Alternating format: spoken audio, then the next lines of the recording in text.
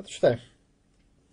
Malo gledate hrvatsku povijest, mislim, kad ja gledam hrvatsku povijest, jer znam što tražim, hrvatska povijest ima jako malo povijesnih artefakata. A ono što postoji... Ono što znamo da se spomenju u povijesnim knjigama je nešto što je u stvari stvarno postojalo. E sad, međutim, ono što se meni čini da Astra se trudi napraviti je verzija, mislim, čuli se za legendu u kraju Artura isto, na kraju krajeva.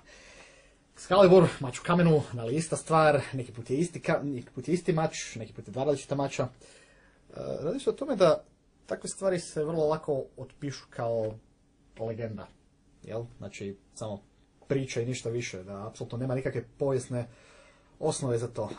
E, to je ono što se meni čini da je Astra pokušava napraviti. Znači, na neki način sakrit ovoga, sve to.